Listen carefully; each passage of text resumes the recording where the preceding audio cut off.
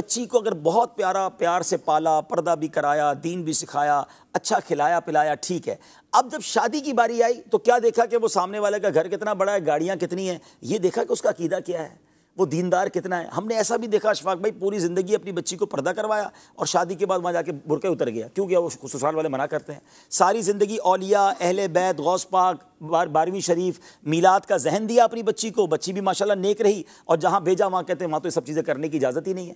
تو آپ نے کیا کیا اپنی بچی کے ساتھ؟ اچھا پھر اسی طرح سود کا کام کرنے والا حرام روزی کمانے والا یہ دیکھا ہی نہیں۔ اچھا آپ حلال کماتے بھی رہے اپنی بچی کو حلال کے ذریعے پرورش کرتے رہے۔ اب شادی وہاں کر دی رشتہ وہاں کر دیا جہاں حرام روزی کمائی جا رہی ہے۔ آپ نے اپنی بچی کے ساتھ کیا کیا؟ کبھی سوچا آپ نے اس کی آنے والی نسلوں کا کیا ہوگا؟ اس کی اس کی نسل اگر اللہ نہ کرے بدعقیدہ ہوگی تو اس کا جواب دے کون ہوگا؟ تو کیا دیکھیں اچھا اچھا دیکھنے کے لیے تو باپ نے کیا نا؟ کون باپ برا چاہتا ہے؟ اس نے بینک بیلنس دولت گاڑی بنگلہ دیکھا صحیح اچھا نہیں کیا اس نے؟ سب سے بڑی بات یہ کہ ہماری چیک لسٹ ہی غلط ہے۔ ہم نارملی لڑکا ڈھونڈتے وقت تین چار چیزیں دیکھتے ہیں دکھتا کیسا ہے؟ دکھتا بھی چل جائے گا اگر کماتا اچھا ہے تو ٹھیک ہے نا؟ پھر اس کے بعد خاندان کیسا ہے؟ کوئی بری عادت تو نہیں ہے؟ اچھا بری عادت میں بھی کیا چیک کریں گے؟ وہ بری عادت جو معاشرے میں بری ہے۔ نشہ تو نہیں کرتا چوری تو نہیں کرتا ہے اچھا یہ نہیں سوچیں گے کہ نماز پڑھتا ہے کہ نہیں پڑھتا؟ کوئی نماز نہ پڑھنے سے زیادہ بری عادت کون سی ہے؟ اچھا حرام کا پیسہ بہت ہے۔ لیکن یہ پیسہ آتا کدھر سے ہے؟ سود کا کاروبار ہے رشوت کا کاروبار ہے نوکری کرتا ہے پچاس ہزار کی گھر میں گاڑیاں کھڑی ہیں تو کدھر سے آئے یہ سارے پیسے؟ یہ کوئی سوچتا ہی نہیں ہے۔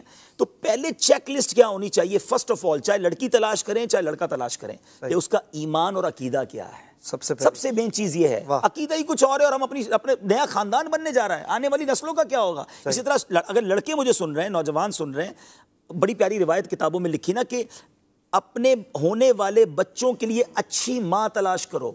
یعنی یہ بچوں کا حق ہے جو بعد میں پیدا ہوں گے کہ ان کے لیے اچھی ماں تلاش کریں۔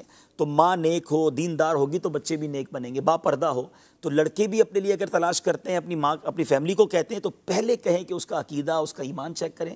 پھر وہ نمازی ہے کہ نہیں، دیندار ہے کہ نہیں؟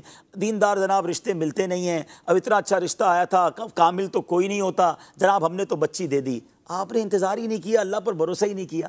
آپ یقین کریں، اگر آپ نے صرف اس لیے رشتہ نہیں کیا کہ آپ کو اللہ والا نیک رشتہ چاہیے اور حلال کمانے والا چاہیے، آپ اللہ کی ذات سے امید رکھیں، اللہ غیب سے ایسا رشتہ بھیجے گا۔ اچھا ایک بات میں اور سمجھا دیتا ہوں، بات طویل ہو گئی کہ مثال کے طور پہ آپ نے بہت مال بدار دیکھا۔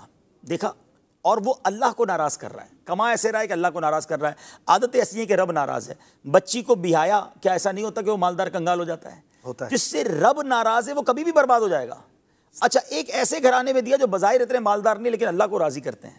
نیک لوگ ہیں حلال کماتے ہیں نمازی ہیں دیندار ہیں۔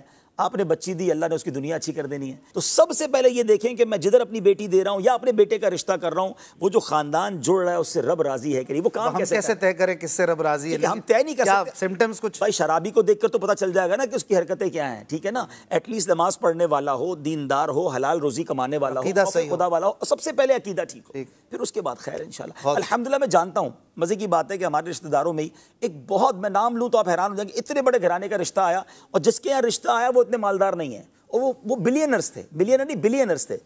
ان کا عقیدہ درست نہیں تھا۔ انہوں نے مجھے فون کیا کہ رشتہ آیا اچھا بیٹی کے لیے رشتہ آیا ان کی وہ بیٹی والے تھے کہ میری بیٹی کے لیے رشتہ آیا ہے لیکن میں صرف اس لیے منع کر رہا ہوں کہ یار میں جن عاشقان رسول میں اپنی بچی دینا چاہتا ہوں یہ وہ لوگ نہیں ہیں۔ اچھا۔ مجھے اتنی خوشی ہوئی حالانکہ وہ خود بظاہر مذہبی حلیے والے بھی نہیں تھے لیکن الحمدللہ اللہ پاک نے کسی اور جگہ بہت اچھی بات ماشاء اللہ